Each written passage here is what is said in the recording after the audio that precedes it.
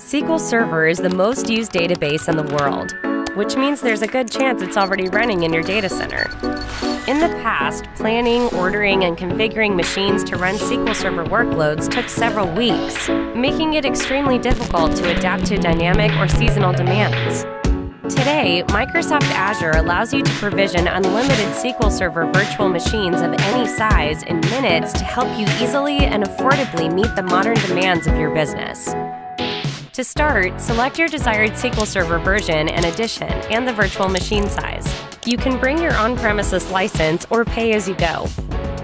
Azure supports all SQL Server versions and editions available in the market, so your existing applications are guaranteed to run the same.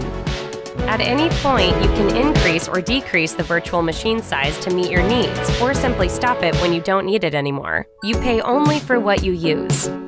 With Azure, you never have to worry about data security or loss. Microsoft offers the most comprehensive compliance coverage of any cloud provider, as well as three perfect copies of your data.